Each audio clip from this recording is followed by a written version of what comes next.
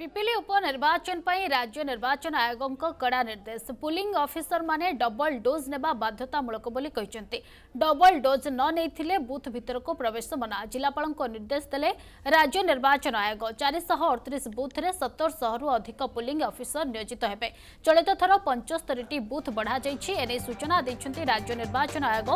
Sushil Kumar Lohani